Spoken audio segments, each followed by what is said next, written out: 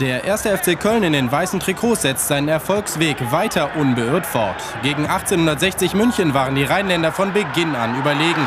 Zählbaren Erfolg gab es zum ersten Mal nach 42 Minuten zu verzeichnen.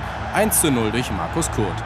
Nach dem Seitenwechsel hatte Löwentrainer Werner Lorand aber noch erheblich mehr Grund zum Ärgern.